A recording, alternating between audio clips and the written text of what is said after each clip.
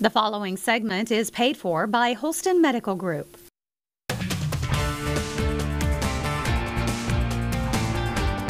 February is American Heart Month, a time to really think about good heart health.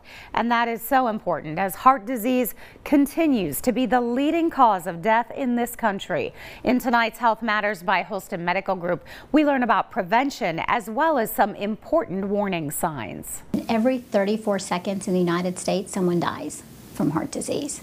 We know that the United States actually spends almost $230 billion a year on this disease.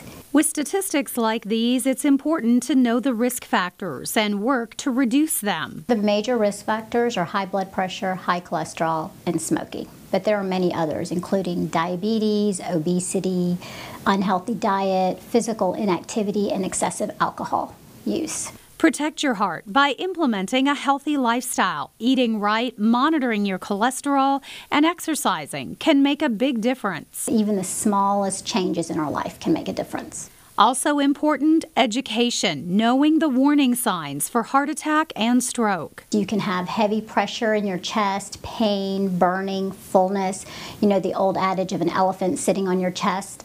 Um, but you can also have other symptoms such as tingling, burning, prickling sensations. You can feel this in your arms, one or both. You can feel it in the back of your neck. You can feel it in your jawline, even in your stomach area. Doctors also say watch out for unusual fatigue, cold sweats, racing heart, and dizziness. Signs of a stroke can be different. You can have sudden weakness or um, numbness in your face, arm, or leg. It can happen, especially if it's on one side. Sometimes people will have confusion, trouble speaking, or even understanding. You may lose your vision in one or both of your eyes.